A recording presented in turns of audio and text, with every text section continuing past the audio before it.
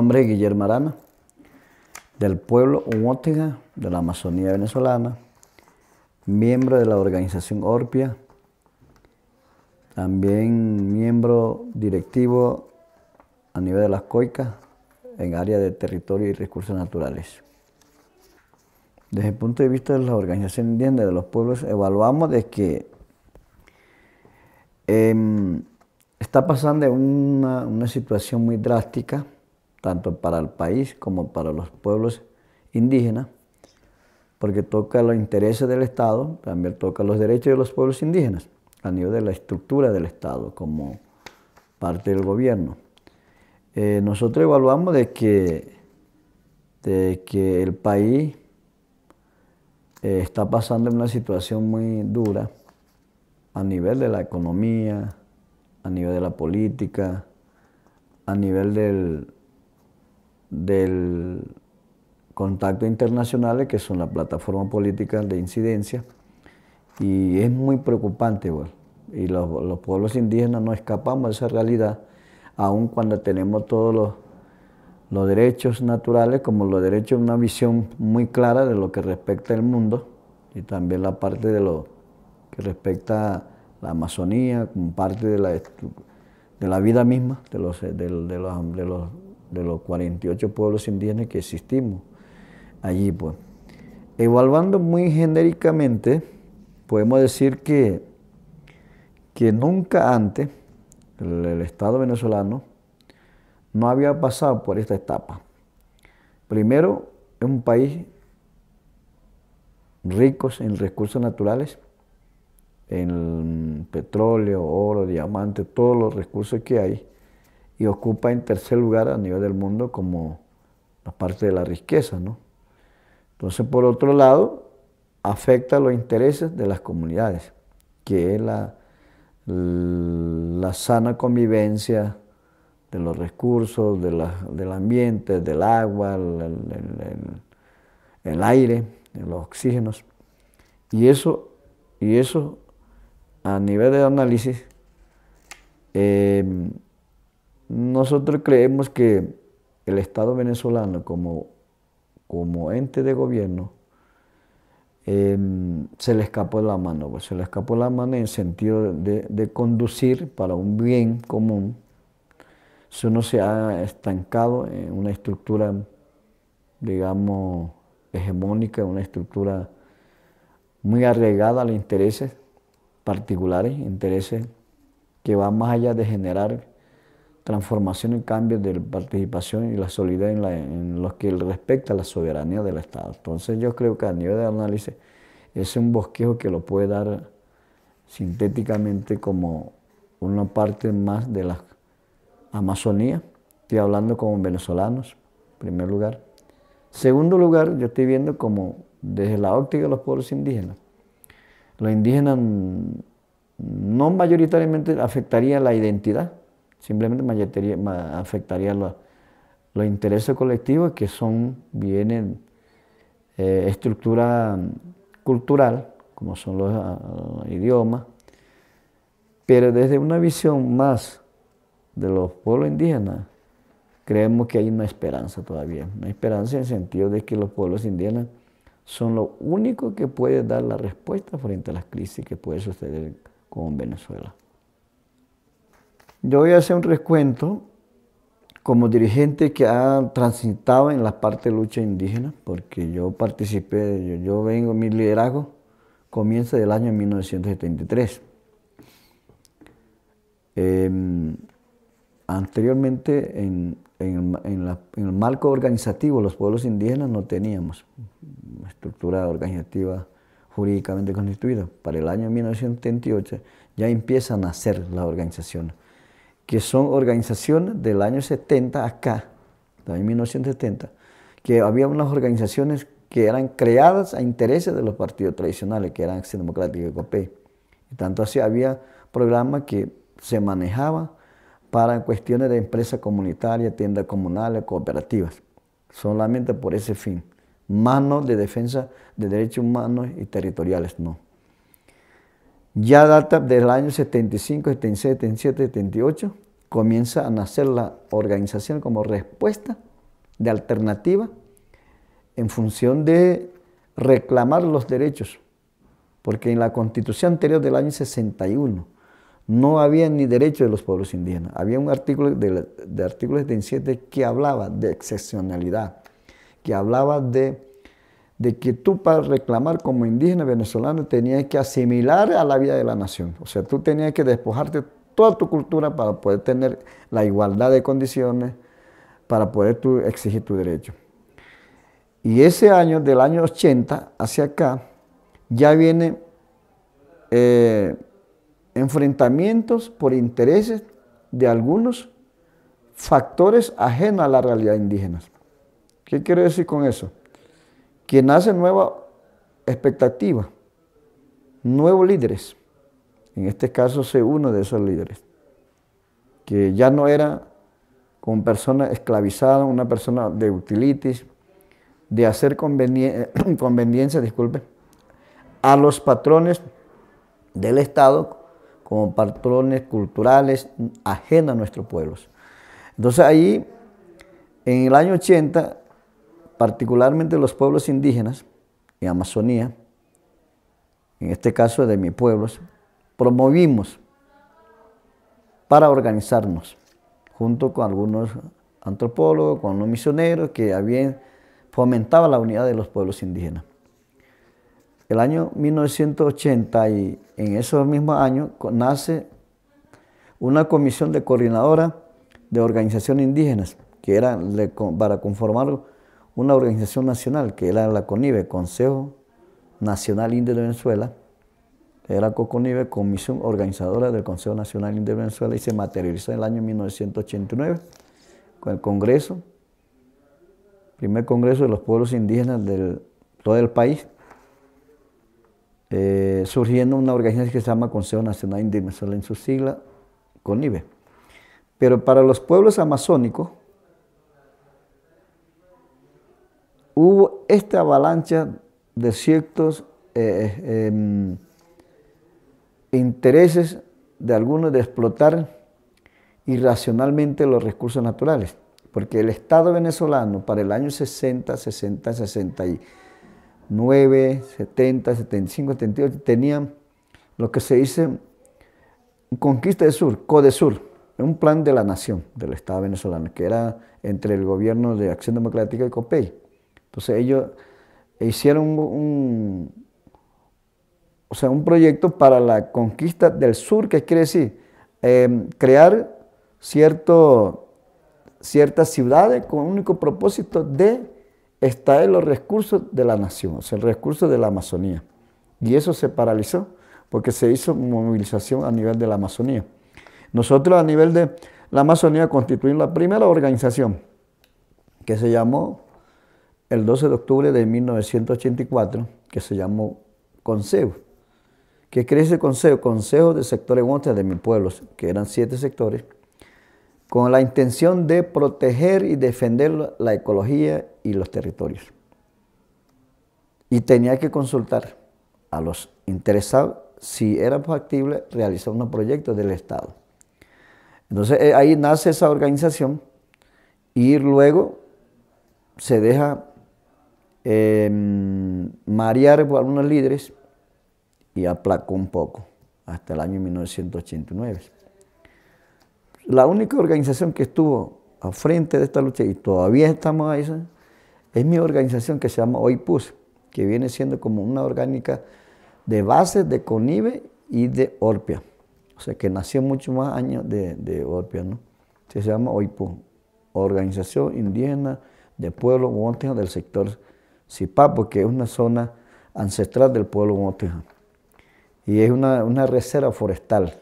Hay monumento natural, hay área, de, área protegida, hay sitios sagrados, hay toda una normativa de pues, de, la, de área de, administración especial, que ahora, bueno, estamos reclamando los derechos en la nueva constitución. Entonces, hasta que, hasta que nosotros tuvimos hasta el año 1989 haciendo ese trabajo en 90, el Estado crea porque el Estado creó mediante un decreto presidencial la Amazonía, como tal, del Estado Amazonas, exclusivamente, se creó para un Estado. Ahí nosotros también opusimos, porque si, eso se, ¿cómo se dice? Se aprobó sin, consentimiento ni, consulta con los pueblos indígenas que allí habitábamos. ¿Por qué el Estado tenía su estructura? Los municipios, ¿a qué condición tenía que ser? Si eran municipios eh, indígenas, simplemente al margen de la politiquería, o que, bueno, nosotros demandamos a nivel del país y ganamos eso, eh, esa, esa, demanda a nivel del Tribunal de Suprema Justicia en el año 1990-92. Ya para el año 1996, 96, se crea la participación política en la toma de decisiones. Y los indígenas siempre se fueron allá, porque creyendo que optando los cargos públicos, cargos públicos del Estado, se iba a resolver los problemas territoriales, problemas educacionales, problemas de salud, problemas, todo lo que hay en el programa ah, con referente a los problemas indígenas. Y eso fue fracaso en sentido de qué, porque había un esquistamiento, un alineamiento de acciones del Estado. Y ahí todas las organizaciones se fueron a pique, como se dice abajo. El año 92 se crea, en septiembre, 3 de septiembre, se crea la organización Orpia, que es una organización material a nivel de la región amazónica. Y soy uno de los que promoví, soy uno de los que estuve en la creación. Y 99, con la misma organización, nosotros participamos en la nueva constitución. En la nueva constitución, donde exigimos un, capítulo, completo, capítulo 8, del artículo 119 hasta 127, donde incluye todos los derechos constitucionales, uso y costumbre, consumo de derechos em, humanos, legislativos. Hicimos presión y se logra un capítulo. ¿Y qué pasa ahora? Esa constitución dirime varias, legislación, como ley de patrimonio cultural, la ley de educación, la ley de salud, la ley, todos. Y esto se vino abajo. Entonces yo creo que la participación de los pueblos indígenas se ha ido en interés no solamente de los pueblos indígenas, se ha interés de fomentar el desarrollo eh, integral de la nación. Y ese, eso es un error grande del, del país, que se han equivocado en sentir de que los pueblos indígenas se sientan afectados cuando los pueblos indígenas estamos defendiendo los intereses de un pueblo, indígena o no indígena, de una soberanía donde compartimos y donde podemos convivir en sana paz y armonía en defensa de la nación y por ende en defensa de la humanidad. Cuando hablamos de la, de la Amazonía, pues allí ha afectado en sentido, en buen sentido de dialogar el Estado y los pueblos indígenas. Yo creo que esta plataforma de trabajo hay que hacerle un ejercicio. eso es lo que, lo que yo puedo decir a nivel de la afectación de las organizaciones indígenas. Pero hoy en día, otra vez, estamos retomando la, las partes de, la, de, liderar, de, visión, de visionar o misionar hacia dónde tiene que tomar directrices desde las organizaciones, ya no desde la estructura del Estado, sino desde la organización. Porque solo así podemos caminar juntos, el Estado y los pueblos indígenas, y compartir criterios para un bien de todos los venezolanos. Y a nivel de la, COICA, nosotros como organización, estuvimos, eh, antes que naciera Orpia, estaba representando CONIBE, CONIVE era la que era orgánicamente afiliada a COICA. Y luego OIPUS sustituye, sustituye, en buenas palabras, a CONIVE, pero ya directamente como Amazonía. Entonces yo creo que ahorita el ejercicio que tenemos, nosotros estamos tomando junto con, con la COICA, a pesar de la vicisitud, a pesar de las debilidades, a pesar de contratiempos, a pesar de obstáculos, yo creo que la agenda es conjunta. Esa agenda que es agenda de pueblos indígenas, defender la Amazonía. Entonces yo creo que ahorita, a nivel del país está afectado, pero a nivel internacional hay esperanza, hay movimientos, hay articulaciones, hay alianzas estratégicas de conjugar un papel, lo que se dice defensa del pulmón de la humanidad, que es la Amazonía. Sí hay, y sí, hay migración, desplazamientos de varias comunidades internamente, sobre todo más del campo hacia la ciudad, hacia la capital de la Amazonía. ¿Por qué? Porque afecta toda la paralización de los beneficios que hay.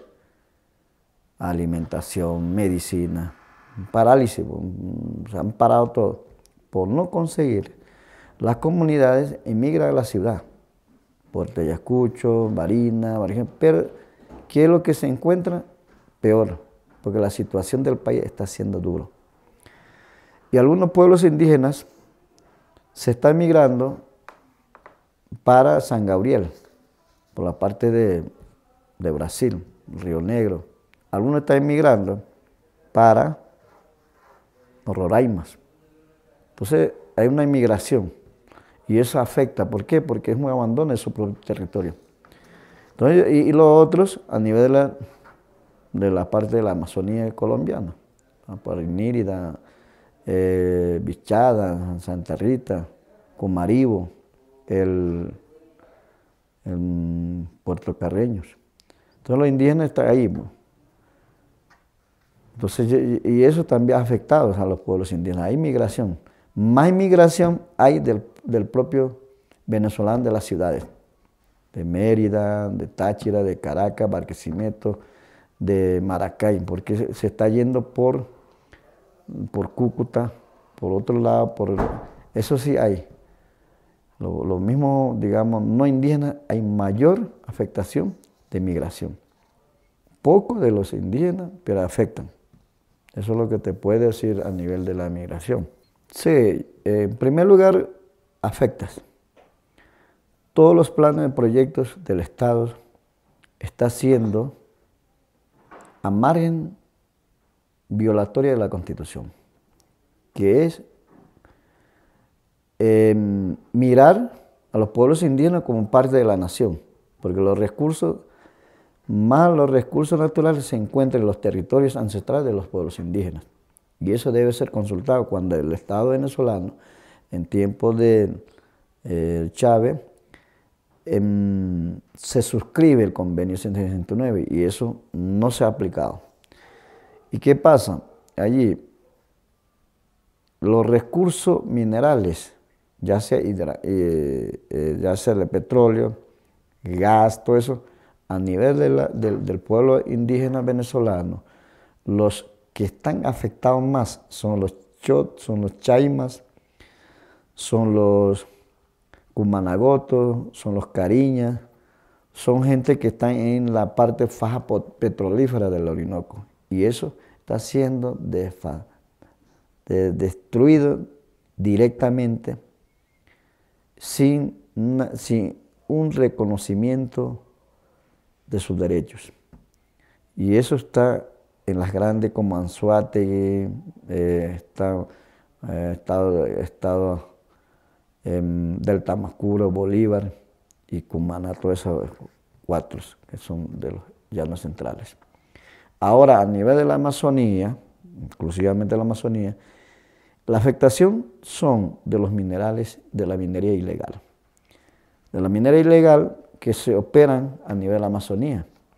Y eso está afectando los territorios indígenas, porque está haciendo totalmente extraír los recursos de la nación sin, ver a dónde va, o sea, clandestinamente, digamos. Y está afectando directamente a los parques nacionales donde se está extrayendo los, minerales, como son oro, diamante, coltán y también uranio porque en la Amazonía, en la Amazonía venezolana hay más uranios, más uranios. Y realmente está afectando todas las partes del, de lo que respecta la seguridad de la nación, por un lado. Por otro lado, el Estado, yo creo que debe pensar, el gobierno debe pensar. Porque una cosa es contar con los recursos que hay y hacer convenios a nivel internacionales, o sea, exportar, importar las, cosas, pero lo vemos que como la soberanía, como independencia, tiene que ser más estratégico, más articulado, más de consensualidad en sentido de la nación, desarrollo de la nación. Porque nosotros estamos bajo un estatus que se llama como patrón cultural de los pueblos indígenas, como guardianes de los territorios. Yo creo que el Estado tampoco no debe independizarse, cortar por cortar. Ellos tienen que ser muy estratégicos, muy sabiamente decir, bueno, los recursos nosotros los podemos dar, pero también nosotros queremos trabajar de esta forma. Yo creo que no hay ninguna respuesta clara y viable de la misma, de la misma responsabilidad del Estado. Eso es, eso es lo que se ha escapado. Y lo otro, los pueblos indígenas, estamos allí en reclamo de nuestros derechos, en la Constitución, en las normas internacionales, territorialmente.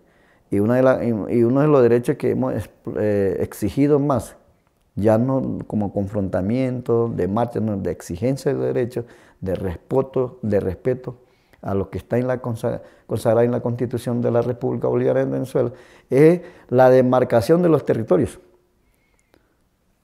Desde los pueblos indígenas, que es la toponimia, lo que es como estatus de autodemarcación y materializar en la Constitución sobre la demarcación. Y eso está paralizado. ¿Por qué? Porque el Estado venezolano desvió totalmente eso y propuso plan estratégico de desarrollo de la nación que se llama Arco Minero. Y ese Arco Mineros viene todos, lo que es extraer los recursos minerales y también de la explotación madereras, también de cuestiones de reforestación, ganaderías, lo que está pasando en otros países. Entonces, eso es lo que va a generar mucho enfrentamiento. Entonces, yo creo nosotros a nivel de la estratégica económicamente estamos afectados, porque no hay una alternativa del Estado. Cuando el Estado habla de los consejos comunales, comunas, pero los indígenas están siendo utilizados. Y las organizaciones indígenas hemos exigido el respeto en sentido de crear, crear un diálogo de concertación, pero nunca hemos podido lograr. Entonces yo creo que ese esfuerzo tenemos que ser ya de una forma más avanzada como es la parte estratégica a nivel internacional. Entonces, de bloqueo estamos nosotros los pueblos indígenas como nación. Para usted exigir los derechos, para plantear todo esto, ¿a dónde usted va a ir? Si una respuesta no te van a dar la misma estructura, más bien te van a decir ustedes son enemigo de la nación. Eso es lo que ha afectado a los líderes. Los líderes estamos siendo criminalizados por esos proyectos, porque estamos oponiendo a un proyecto impuesto desde la nación, más no impuesto desde la visión cultural, intercultural para un desarrollo de un país que se llama en la, en la democracia participativa, protagónica, multicultural, multilingüe, pluricultural. Y eso está taxativamente en la Constitución. Y eso está en desconocimiento total, inaplicabilidad. Y creemos nosotros como pueblos indígenas en la Amazonía, son 20 pueblos, hay 17 organizaciones de base, hay tres organizaciones de mujeres, hay una organización de plataforma de gobierno que, que estamos ya liderando para este año, para un encuentro de los sabios, de los sabios, sobre todo las autoridades tradicionales, porque solo así podemos hacer ejercicio de derechos desde nosotros, plantear y regular nuestro territorio. Yo creo que esa va a ser la salida. Vemos, y ahí, y ahí contamos con el esfuerzo de, la COICA, de otras organizaciones como Colombia, Perú, Ecuador, porque la Amazonía es un solo. Entonces yo quiero decirle, en este generalmente, creo que es importante que hagamos esfuerzos a nivel de la, a nivel de la de las incidencias internacionales.